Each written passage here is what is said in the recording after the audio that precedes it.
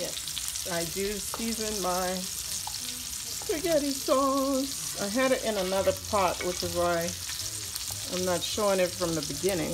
In the pot, I couldn't add any more sauce to it. This is leftover spaghetti that I'm now making for lasagna. So I had to put it in this bigger pot, my 13.14 ah, Le Creuset.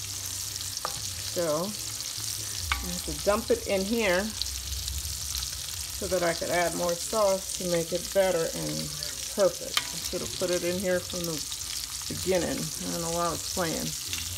But I have my sausages going. This lasagna is gonna be splendid. Uh-oh, not supposed to do that from what I read as far as the care of your pot. So,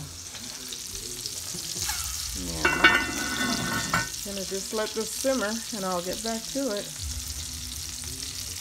This is the best buy I've ever made for my kitchen pots thus far. Boom, Le Creuset.